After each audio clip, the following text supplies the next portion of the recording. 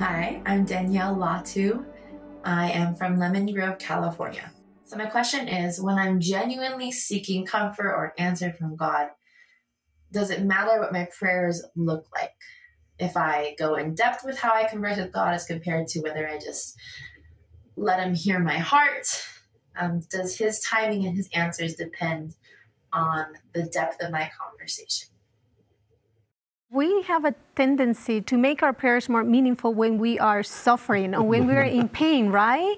So I can see how you may think, you know, you receive these big spiritual miracles or spiritual experiences when you're praying with this, like strongly, uh, but not necessarily. Mm-hmm. Do you think that's the case?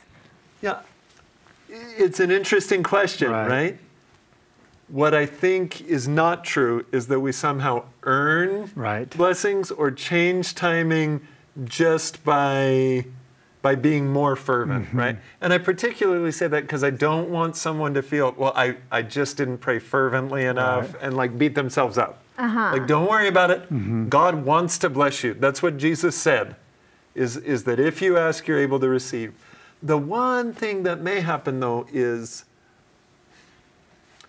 if God is sending help, we got to be ready to get up and get it, mm-hmm. Mm-hmm. right? And so, if a more fervent prayer is going to help put you in a position to take those actions, right? You mentioned the woman in this story with the issue of blood.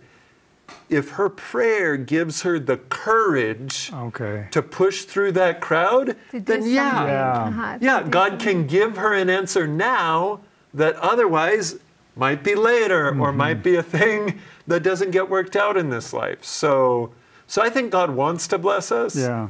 But sometimes prayer can give us the strength to do our part of yeah. reaching those blessings.